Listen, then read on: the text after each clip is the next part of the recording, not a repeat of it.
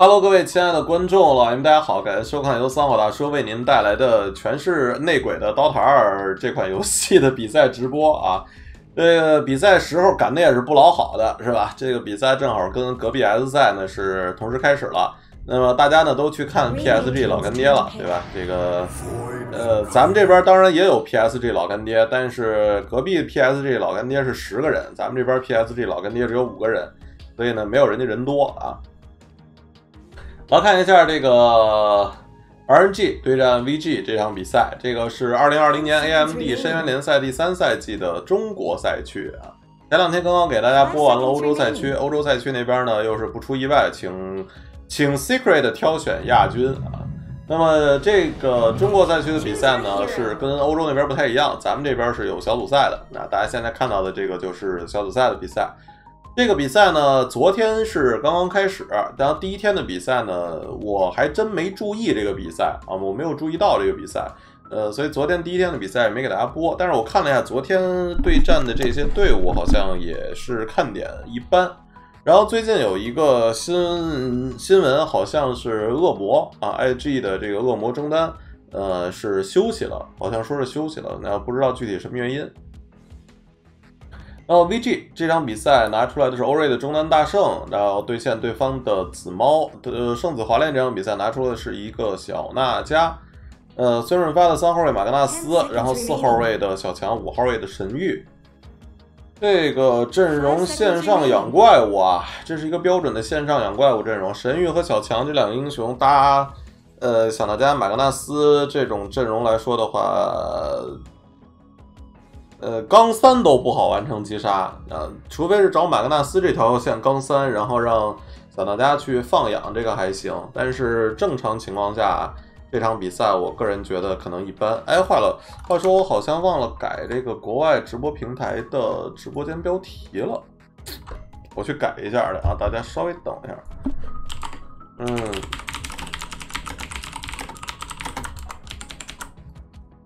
我还真是忘了改这个。直播间标题了，不是中国的 China China China Pro Top，呃 Pro Cup。好了，改完了，回来了。感谢真爱琥珀大佬的 B 克拉，谢谢老板。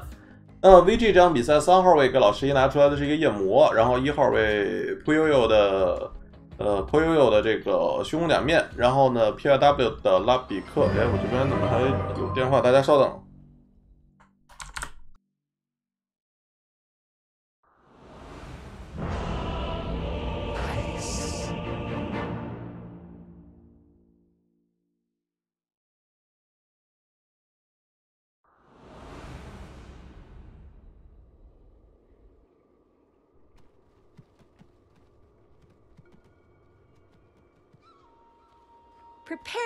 Battle.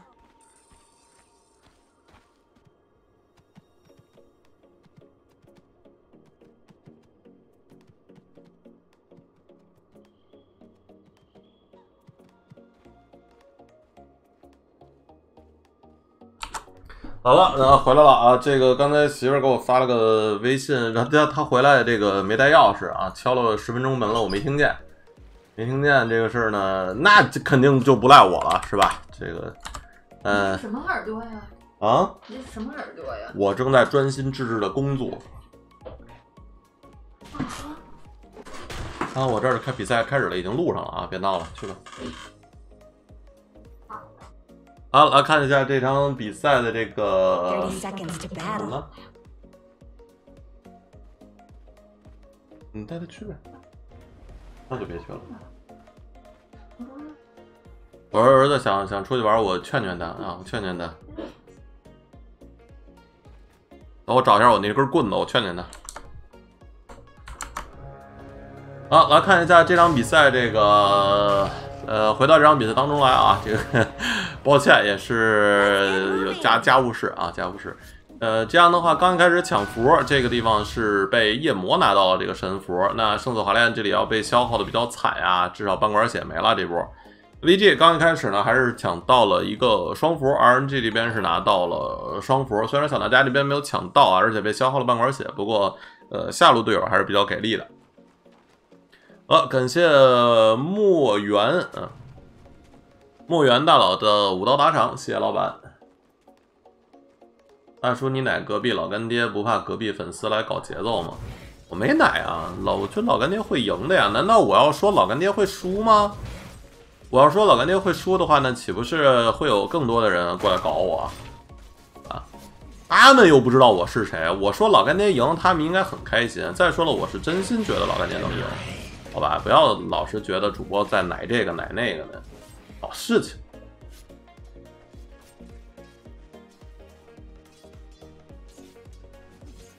这场比赛这个对线中路大圣打紫猫的话呢，这个老牌中的老牌这个欺负近战的英雄打个紫猫应该是问题不大。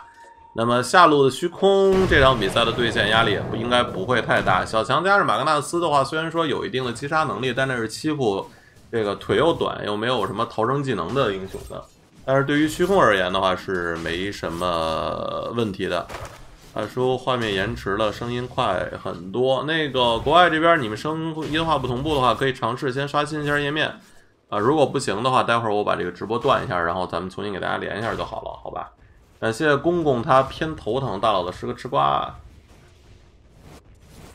那么这里夜魔在上路打小娜迦，加上神域的话，也是丝毫不会有任何的压力啊。看来这边是这个生化音画不同步的情况还比较严重。那这样，那个咱们直播这边断一下啊。呃，预计在三十秒以后，我直播这边断一下，然后十秒到二十秒之后我会连回来，好吧？大家稍微等一下啊，稍微等一小会儿，等等一小下。那么这场比赛，大圣在中路现在已经是把紫猫给打爆了，已经给打爆了。然后呢，这里虚空在下路无解肥，上路呃夜魔养怪物。这样的话，RNG 这场比赛只要 VG 正常发挥，应该是可以把 RNG 直接给暴打。好了，我把这边稍微卡一稍微断一下啊，咱们很快连回来，大家稍等。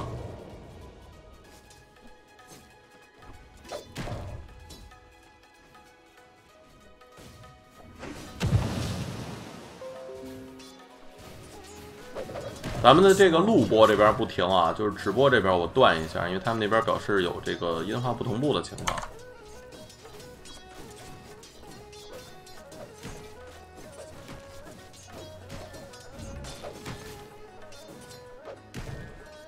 看一下，应该马上能连回来，看看连回来以后可好可不可以？BP 是什么情况？顶着小当家选的虚空吗？这场比赛，小当家作为一个大哥位，对于虚空的克制其实一般般啊，其实是一般般的。呃，一般来说是酱油位小当家克虚空克的更严重一些。大哥位的小当家对于虚空这个英雄而言的话，我可以直接照你啊，我不是说非得照你的队友，我可以直接照你。这里大圣在中路二十三杠八的一个正反补，那肥的流油啊，这个基本上算是一个。连回来了，大叔念一下游戏时间。现在游戏时间是三分五十五秒。这场比赛的 BP 顺序应该是先选的虚空，因为虚空这英雄现在基本上都会抢，啊，就是只要没搬，基本上都会抢。主要是虚空这英雄现在它使用起来，呃，攻速流配合 MKB，对于虚空的这个输出是以前虚空最大的问题，实际上是它这个输出不够，啊，输出成型会比较慢。呃，这也是为什么当初很多时候会选择打三号位虚空的一个原因。这里夜魔又是跑过来去占一占对方圣子华莲的便宜。从个人经济来看的话，夜魔现在在上路全场第一，小大家呢勉强追得上对方的第一集团，但是自己的中路和下路基本上已经算是一个崩盘的状态，尤其是中路现在崩的已经没法看了啊！中路英雄对单的情况下，让对方已经压了足足。有接近五百块钱的经济，这刚游戏开始不到五分钟啊！大家要知道，这边马上刷五分钟的赏金神符，看一下这个赏金神符。感谢三巨头之雷大佬的十个铃音，看看这个赏金神符。上路小娜迦已经蹲好了，下路在打，那下路那边在打。开局五分钟，赏金神符这边 RNG 是控到了两个，目前那还有一个应该也是可以让小强过去控到。这样的话是三个赏金神符，还算是拉回来了一些这个团队经济差。看看上路，这是要杀了五分钟的第一波，对于对方的进攻，拉比克手里是有举的啊，这里尽可能多等一会儿，然后让夜魔等一下自己下一个虚空的 CD 上来，技能给上去，这里再绕一圈给一张技能，呃，但是这里啊漂亮，这 P I W 最后一弱化能流直接带走圣子华炼的向大家，向大家这波节奏被断以后，他的经济应该是会。被对方压制住，因为这个夜魔现在只需要运一个大药，然后或者他现在身上有一个大药，然后运两颗芒果。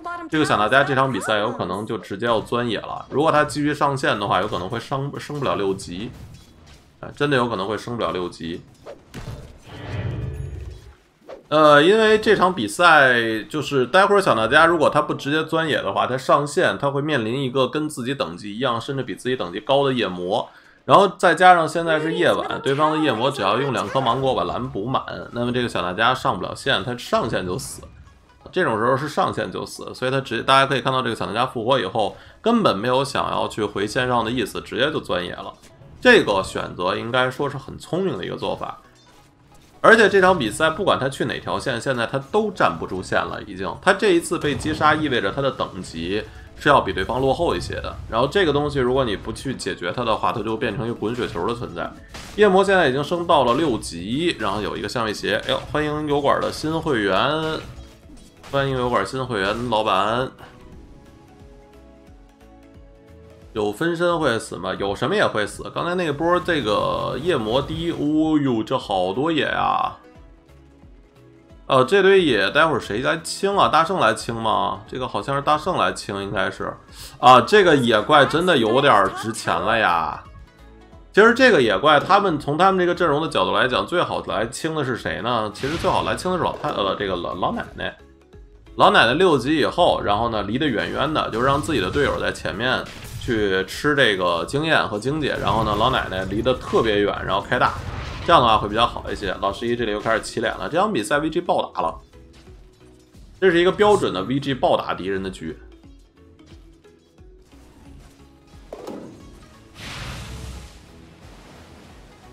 结果娜迦挖矿，娜迦挖矿应该是不会的。这个大爷其实最好是老奶奶六级以后，老奶奶来清。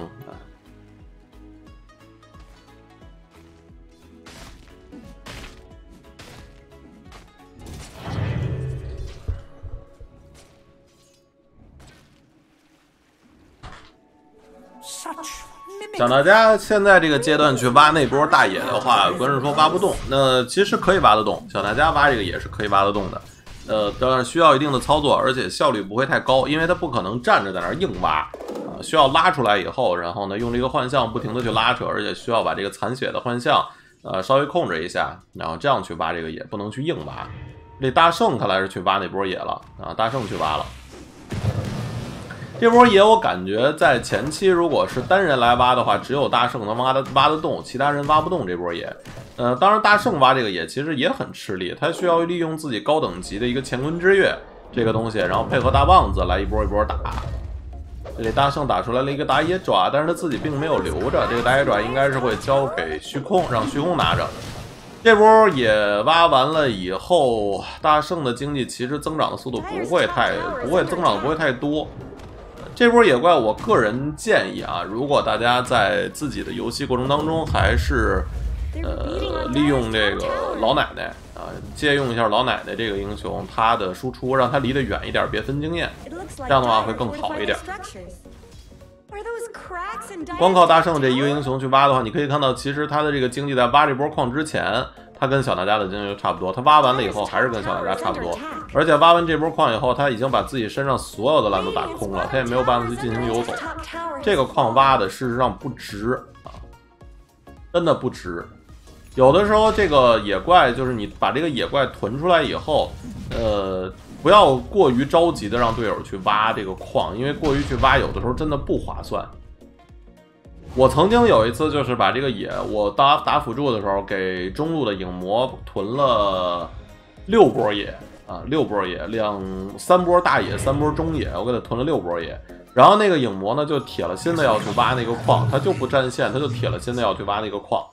呃，结果这个一次打不过，然后呢回家灌瓶子，然后又又打了一次，打了两次，终于把那个野打完了。结果发现人占线的那个英雄比他钱多，比他等级高。所以说这个挖矿这个事儿还是要有效率，有效率挖矿才有价值。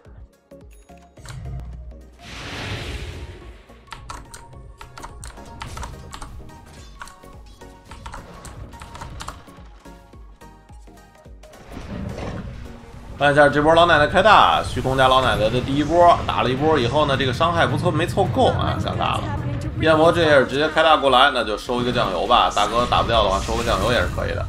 呃，夜魔这里还要追，但是沉默已经到时间了。马格纳斯手里是有大，你这个大招交的，呃，这个大招交的感觉有点略白给啊，哪有这么交大的呀？这个马格纳斯。在夜魔开大的情况下，你支援过来的只是一个紫猫这样的英雄，输出远远不够。呃，这么交大的话，感觉好像真的是有点欠考虑。小大家这段时间刷的还是很快的啊，借助这个英雄刷钱的能力确实出色。对方这哥仨呢，战线很强，但是刷钱能力都一般。呃，小大家这准刷的也是美滋滋，再加上他第一件装备选择出的是一个点金手，也是要多流有多流的一个装备。这么能刷的一个英雄，然后第一件装备出了个点金手，而点金手这个道具对于小大家的提升，呃，从正面输出的角度来讲的话，微乎其微。那如果你是个虚空出个点金手，这个没什么问题，因为他缺攻速。大圣这里大棒子交出来，大招交出来，一个弱化能流直接带走。P W 这又是拿到四十八一个人头，虚空跳过来，然后呢直接打到对方身上，这里又是偷到了一个对方的气运之墨啊，偷了一个净化，刚才甩了一手，虽然没有打中，不过问题不大。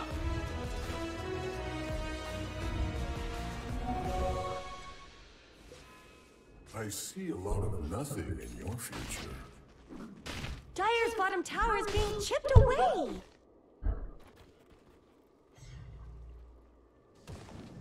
这个小娜家裸一个点金出来，这场比赛就是 RNG 的这个出装思路，这个打法的套路。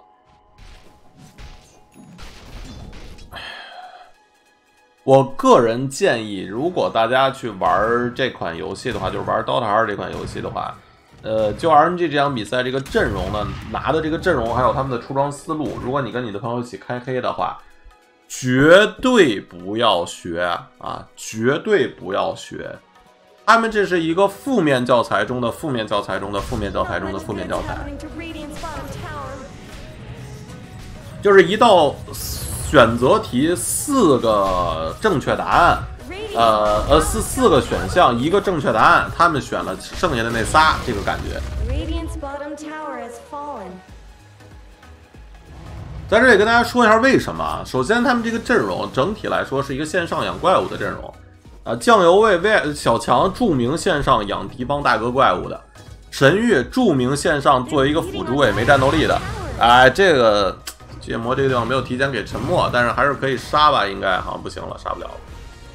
天亮了，夜魔没有大，有点有点尴尬。那这样的话，这波非常失失败的一个配合呢，也是让对方反杀掉了老十一的这个夜魔。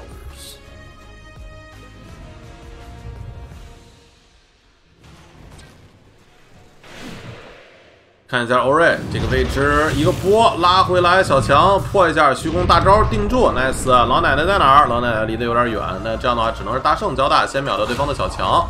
马格纳斯顶了一下，但是并没有能够把欧瑞顶出来大招。看一下自己的队友拉比克，这个地方好像没有技能留不住，的偷了一个拱，偷了一个拱的话，可以待会儿用来去赶一下路。就是他的这个阵容整体线上养怪物，这是第一点。然后呢，你又。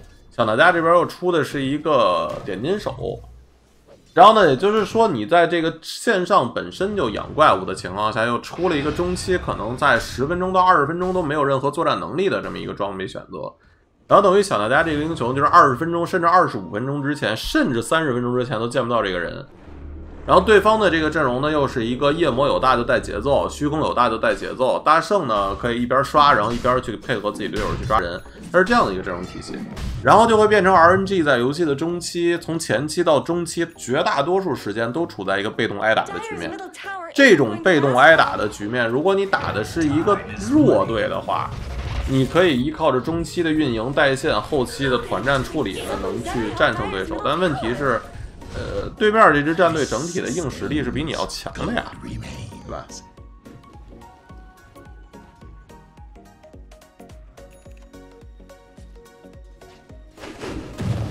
来看一下这波野魔过来以后，老奶奶直接大招上来，那这紫猫又没了。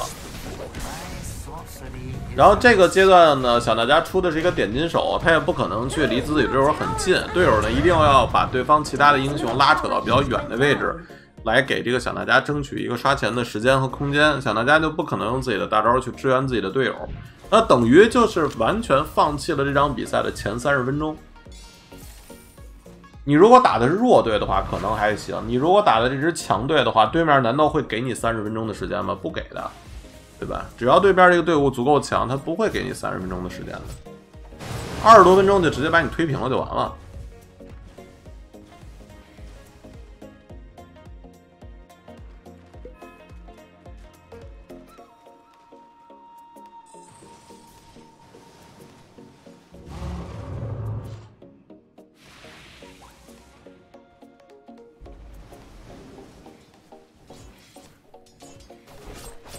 确实这边卡了，暂时我这边没有什么解决方案啊。这个大家可以先等一等，或者说在油管这边先看一下。拉比克现在的经济是五千三百块钱。这场比赛因为拉比克前期拿了不少人头，呃，而且游走的收益很高，再加上对方这个阵容线上养怪物，导致拉比克前期混得风生水起，所以现在。你看这 RNG 这套阵容拿完了以后，你看他们现在哪有战斗力？就整个阵容没有战斗力的，这里给上一个穿刺，打了一辈子，然后夜魔没死，开个大招飞走了。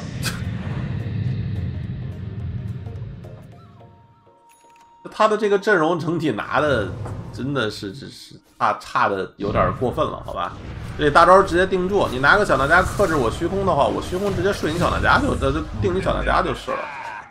对吧？无所谓的，你上边抓我的夜魔失败，我下边抓你的小当家直接完成击杀。我虽然虚空交了个大，但是无所谓啊。打完这波以后可以直接推二塔了。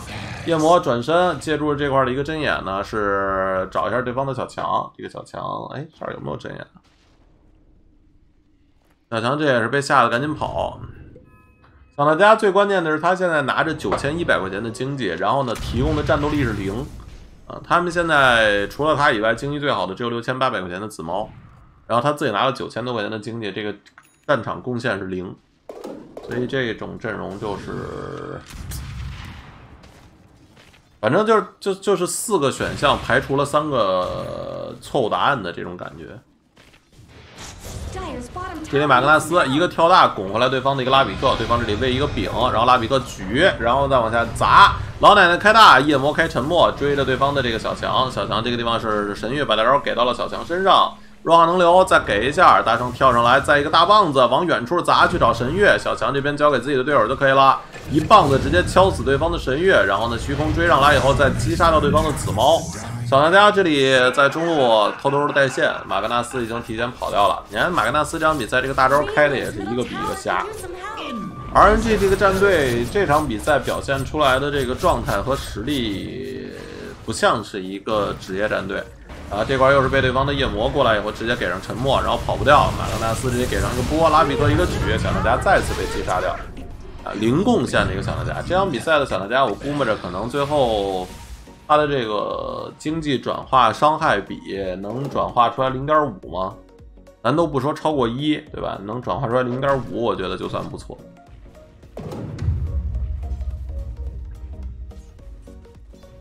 内鬼来了。D G，呃，推着那边，推着油管这边又断了吗？我看一下啊。这个白天的直播感觉好像确实是比较容易不太稳定。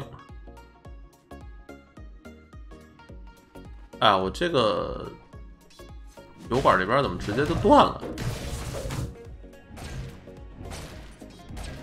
油管这边直接断了，有点过分啊。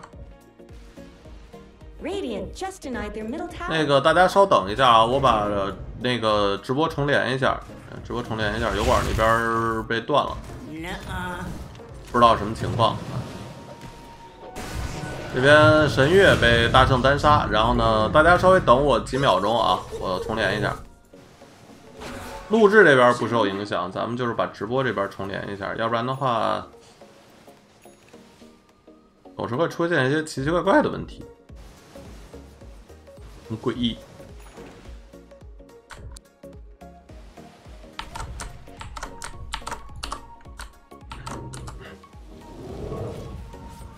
刚出点金就被打炸，确实转化不出伤害。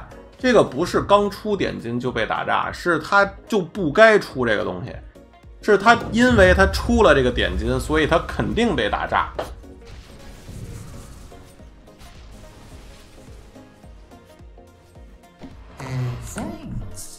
所以这个一定要就是原因啊，要要分清楚。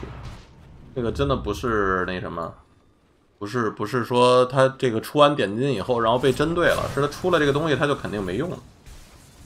这 RNG，哎呦，这马格纳斯直接被对方的一个跳躲了大招，转身虚空一个大定住，先把你的这个小强秒掉，然后老奶奶一顿吐火，拉比克这里举一下。小德家手里还没有大，虚空跟上来，神域这里就别救了，这还有啥救的必要？自己赶紧跑就完了。